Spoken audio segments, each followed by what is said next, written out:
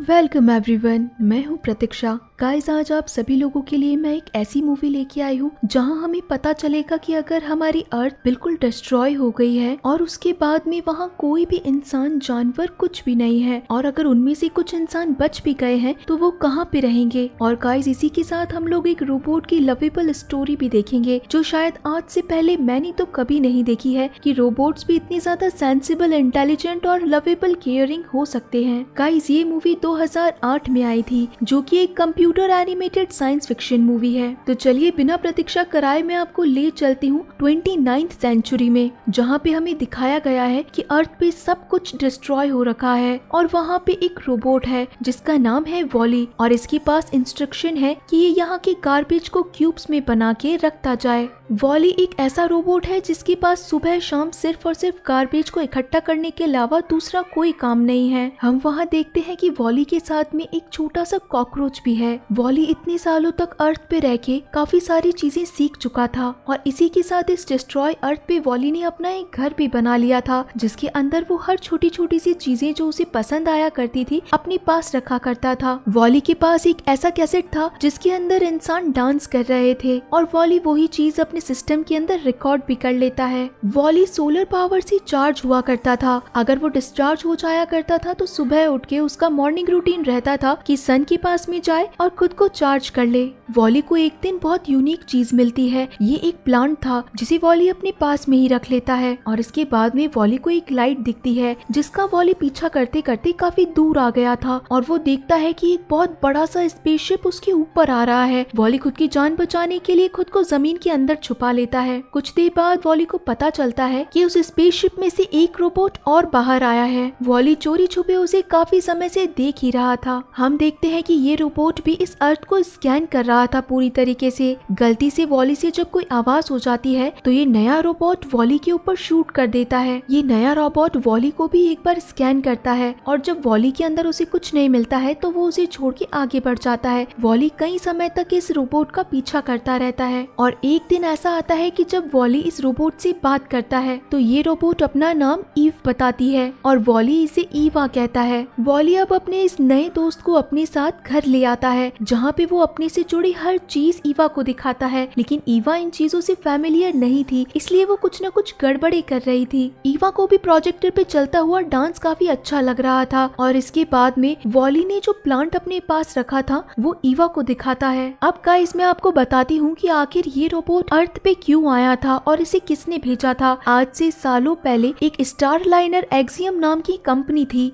जिसने एक स्पेसशिप बनाया था, जिस कंपनी का नाम था बाय एंड लार्ज जो लोग ज़िंदा बचे थे अर्थ के अंदर, ये सभी लोग इस स्पेसशिप में बैठ के यूनिवर्स में चले गए थे और यही स्पेसशिप वापस से कुछ रोबोट्स अर्थ के ऊपर भेज रही थी, ताकि ये लोग वापस से अर्थ पे इंसानों की एग्जिस्टेंस देख सके। कि यहाँ पे कोई चीज़ ज़िंदा रह भी सकती है या नहीं। और इसी रीजन से ईवा को भी भेजा गया था। और ईवा के पास में जब ये प्लांट आता है तो ईवा का मिशन पूरा हो चुका था। और इसी के साथ ईवा की डिम पावर के कारण ईवा खुद को शट डाउन कर लेती है। लेकिन इसके साथ में यहाँ पे उसका सिक्योरिटी कैमरा भी चालू था। ये चीज़ गाइज़ यहाँ पे काफ़ी इमोशनल था। वॉली को जब अपना नया दोस्त मिला ही था कि उसके कुछ टाइम बाद में ही उसका नया दोस्त उससे दूर हो गया था। वॉली काफ़ी कोशिश करता है कि वो ईवा को ठीक कर सके। वो सोच सोचता है कि क्या पता ये रोबोट भी सोलर पावर से चालू हो। इसी कारण वो ईवा को काफ़ी टाइम तक धूप में भी रखता है। वो ईवा को अपने साथ एक इलेक्ट्रिसिटी लाइट से बाँध के अपने पीछे पीछे चलाता है। वॉली हर कोशिश करता है कि ईवा वापस से चालू हो जाए, लेकिन एक दिन वही स्पेसशिप आ जाता है जिसने ईवा को पहले छोड़ा था। वो स्पेसशिप ईवा को अपने साथ ले जाती है और जब वॉली ये चीज़ देखता है तो वो भागता हुआ आता है ईवा को बचाने के लिए और वो इसी स्पेसशिप पे चढ़ जाता है। ये स्पेसशिप अर्थ की रेडियंस से बाहर निकल चुका था और अब वॉली भी इसी स्पेसशिप के ऊपर था। वॉली ग्लास के अंदर से ईवा को देखता है और उसे उठाने की कोशिश करता है। अंदर आने के बाद वॉली को पता चलता है कि ईवा को स्कैन किया जा रहा है और इसी के साथ में ईवा को अपने साथ कुछ दूसरे रोबोट्स कहीं दूसरी जगह ले गए हैं। इस स्पेसशिप में आने के बाद हमें पता चलता है कि इंसान अब बिल्कुल चेंज हो चुके हैं। वो इतने ज़्यादा लेजी और हेल्थी हो चुके हैं कि अपना कोई काम खुद से नहीं कर रहे हैं। उनका सारा काम ये रोबोट्स ही कर रहे हैं। वहाँ पे एक इंसान जिसका नाम जॉन था, वो नीचे गिर गया था और खुद से खड़ा भी नहीं हो पा रहा था। तब वॉली ने ही इस जॉन की हेल्प की थी खड़े होने में। अब हमें यहाँ पे इस स्पेसशिप का कैप्टन दिखाया जाता है, जो कि खुद भी अभी तक सो ही रहा था और इसका सारा काम एक ऑटो नाम का रोबोट कर रहा था। स्पेसशिप को सारा चेक करने के बाद में कैप्टन यहाँ पे ऑटो से पूछता है कि आप बताओ तुम्हें क्या कहना था? तो ऑटो बताता है कि जिन रोबोट्स को अर्थ पे भेजा गया था, इंसानों को चेक करने के लिए वो रोबोट सक्सेसफुल हुआ है और हमें प्लांट मिला है। आज से कई सालों पहले तक किसी भी कैप्टन को ऐसी कोई चीज़ नहीं मिली थी, इसलिए इस कैप्टन को भी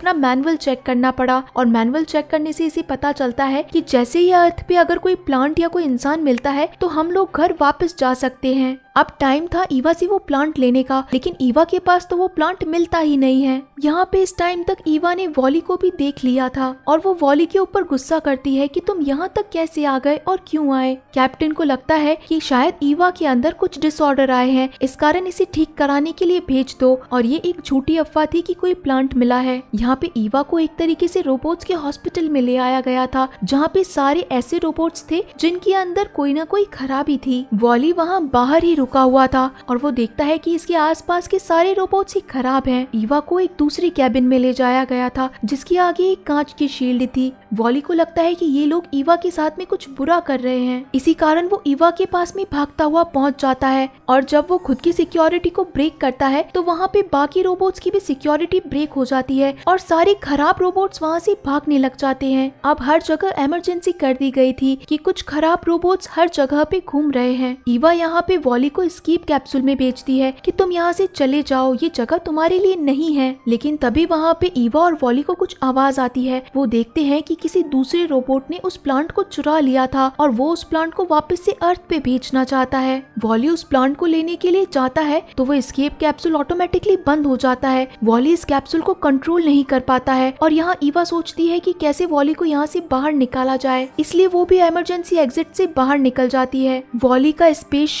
ब्लास्ट हो जाता है। ये चीज़ देख के ईवा को बहुत ज़्यादा बुरा लगता है, लेकिन तब ईवा देखती है वॉली को दूर से आते हुए। अभी भी वॉली ज़िंदा था और वॉली के साथ में वो प्लांट भी बचा हुआ था। ये चीज़ देख के ईवा और वॉली दोनों ही बहुत खुश थे और वो पूरे गैलेक्सी के अंदर घूमने लगते हैं। अब इन दोनों को अपने कैप्टन के पास जाना था ये प्लांट वापस देने के लिए। यहाँ पे हम देखते हैं कि दो इंसान अपने इल्यूजन से बाहर निकले हुए हैं और वो आपस में बात भी कर रहे थे। यहाँ कैप्टन को जब अर्थ के बारे में पता चलता है तो उसमें और ज़्यादा क्यूरियोसिटी आ जाती है कि अर्थ इतनी सुंदर जगह है और वो हमारा घर है। अब यहाँ पे ईवा वापस से एक प्लानिंग करती है ताकि वो कैप्टन के पास में पहुँच सके। और जैसे ही कैप्टन ईवा को देखता है प्लांट हाथ में लिए तो कैप्टन काफ़ी खुश था कि हम लोग अब फिर से घर जा सकते हैं। और इसी टाइम पे यहाँ पे ईवा की मेमोरीज दिखना भी स्टार्ट हो जाती है। ईवा देखती है कि जब वो टर्न ऑफ़ हो चुकी थी तो वॉली ने कैसे उसका ध्यान रखा था। वो हर टाइम उसके साथ ही था। इस कारण ईवा और ज़्यादा अटैच हो जाती है वॉली से। लेकिन तभी वहाँ पे ऑटो पहुँच जाता है, जो की कैप्टन से वो प्लांट वापस माँगता है। कैप्टन यहाँ पे गुस्सा हो जाता है और कहता है की मैं तुम्हें ये प्लांट कभी नहीं दूँगा। और तुम आखिर ऐसा क्यों चाहते हो कि हम घर ना जाएँ? तो ऑटो कैप्टन को एक वीडियो दिखाता है, जहाँ पे प्रेसिडेंट बोल रहे थे कि हम सभी लोगों को वापस से स्पेसशिप में बैठ के बाहर जाना पड़ेगा। हम लोगों के लिए अर्थ बिल्कुल सेफ़ नहीं है और ये मेरा लास्ट कमांड है कि अब सारे डिसीज़न रोबोट ही लें। और हम लोग अर्थ पे कभी नहीं जाएँगे। इसी कारण ऑटो अभी तक यही मैनुअल फॉलो कर रहा था। कैप्टन कहता है कि ये मैनुअल 700 साल पुराना है और अब जब ये प्लांट मिल चुका है तो हम अर्थ पे फिर से जाएँगे। लेकिन वो ऑटो वहाँ पे उस प्लांट को लेके वापस से गार्बेज बॉक्स में फेंक देता है। लेकिन तभी वहाँ से वॉली निकल के आता है और वॉली ने फिर से एक बार वो प्लांट बचा लिया था। लेकिन दूसरे रोबोट ने वॉली को काफ़ी ज़्यादा नुकसान पहुँचा दिया था। इलेक्ट्रिसिटी शॉर्ट सर्किट देके।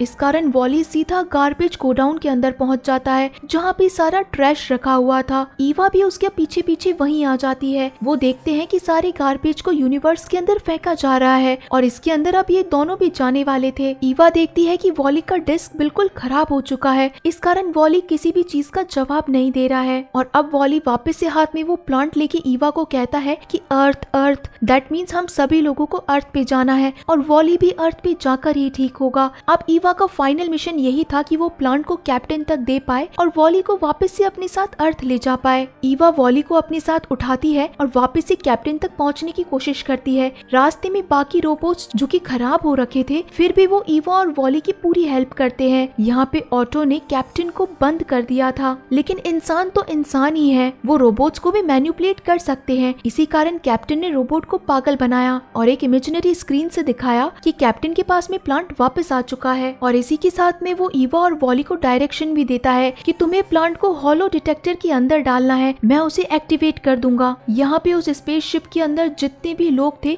सारे एक जगह इकट्ठा होने लग रहे थे, क्योंकि अब उन्हें अर्थ पे जाना था। हम यहाँ देखते हैं कि हॉलो डिटेक्टर वापस से वो ऑटो बंद कर रहा था, लेकिन वॉली ने ऐसा होने ही नहीं दिया। वॉली ने उस पूरे हॉलो डिटेक्टर को अपने ऊपर रोक के रखा था, और अब कैप्टन भी वापस से उठ चुका था, और वो ऑटो रोबोट से लड़ने की कोशिश करता है, और एक समय ऐसा आता है जब वो उसको पूरी तरीके से बंद कर देता है। यहाँ पे अब सारे इंसान भी एक दूसरे की हेल्प कर रहे थे। जब उन्हें पता चला कि हम लोगों को ये प्लांट हॉलो डिटेक्टर में डालना है तो सभी लोग प्लांट को एक दूसरे पे पास करने लगे। और फाइनली इवा के पास में जब वो प्लांट आया तो वो हॉलो डिटेक्टर में प्लांट को डालती है। लेकिन तब तक वॉली बिल्कुल डिस्ट्रॉय हो चुका था और अब यहाँ पे ये स्पेसशिप हाइपर जंप लेती है और सीधा अर्थ पे पहुँच जाती है। अब जैसे ही इस स्पेसशिप के दरवाजे खुलते हैं, सभी लोग पहली बार सूरज की रोशनी देखते हैं। ईवा सीधा वॉली को लेके उसके घर पे पहुँचती है और वहाँ पे उसके सारे पार्ट्स फटाफट से चेंज कर देती है और इसी के साथ में वो वॉली की डिस्क भी चेंज करती है। जब वॉली वापस सोलर पावर से चार्ज होता है तो वो चालू हो जाता है। लेकिन इस बार वॉली बिल्कुल चेंज हो चुका था, क्योंकि उसकी डिस्क चेंज होने के कारण वो रिबूट हो चुका था और उसे अब कुछ भी पुराना याद नहीं था। उसके पास सिर्फ़ एक ही मिशन था कि गार्बेज को क्यूब्स में बदलना है। ईवा उसे हर चीज़ याद दिलाने की कोशिश करती है और यहाँ पे हम देखते हैं कि शायद वॉली कभी भी ईवा को याद नहीं कर पाएगा। लेकिन जब ईवा यहाँ पे वॉली को हक करती है तो वॉली की वापस से मेमोरी रिफ्रेश हो जाती है और वॉली यहाँ पे ईवा का हाथ पकड़ लेता है। और इसके बाद हम देखते हैं कि यहाँ पे आने वाले इंसान 700 साल बाद में अर्थ के ऊपर वापस से प्लांट लगाने लग गए हैं।